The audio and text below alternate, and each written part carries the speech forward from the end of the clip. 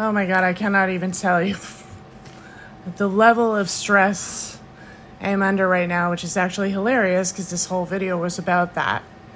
So, this is for the ACTA2 people. I just wanted to give you guys kind of, you know, a special little heads up just based on our own genetic defect and give you some tips. Now, a lot of you may be have been pretty alarmed just knowing my general surgical history. Is this a normal thing? No, I am the exception, not the rule. I have lived an incredibly stressful life. Probably more stressful than most of you, just based on my own experiences.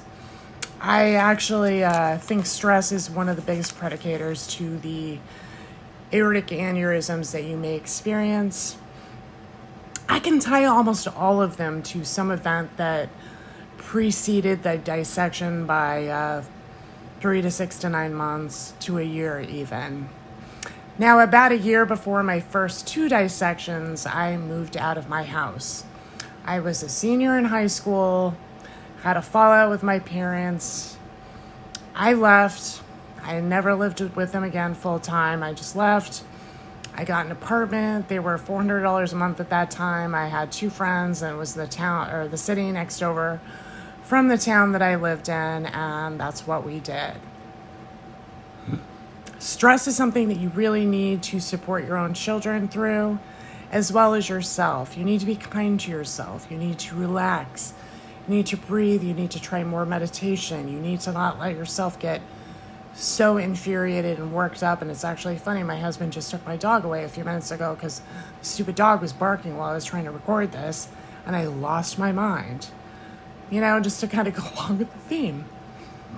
Heavy lifting. You must avoid heavy lifting. Anything heavy that you are lifting is straining your vasculature. We have very weak vasculature. Cannot do it. I have moved dozens of times. I have moved heavy stuff. I've moved bare. I've done stupid shit. And you really need to be careful of that. Contact sports. You must be careful of contact sports. You must avoid them at all costs just because, you know, obviously the hard jarring in the body could cause spontaneous dissection. You don't need that. You need to be careful of yoga as well.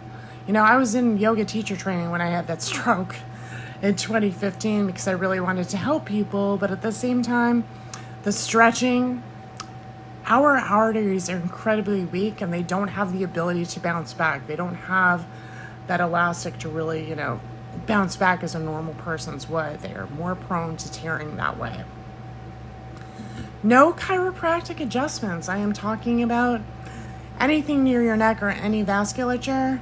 You know, we've all seen the stories of the people that have had the um, adjustments and had strokes, that's probably something that would happen to us. And I've never had anyone do it simply for the fact that I've had strokes already. I actually worked for a chiropractor at 15, and we always talked about me getting adjustments, but I never did it. And now, thank God that I did, and that was something that just happened and worked out in my favor. Massages, no hard massages. You're going to be want to be very careful about that.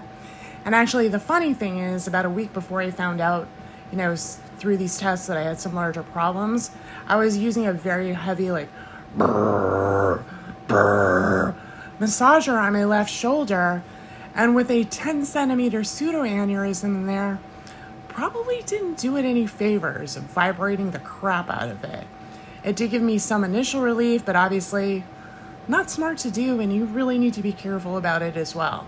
You need to be extremely gentle with your body and your vasculature. Again, this is just based on my own experiences.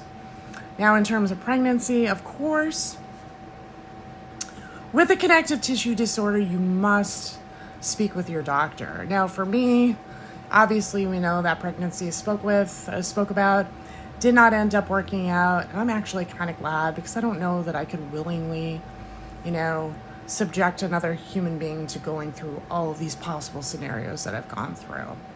These are just my tips.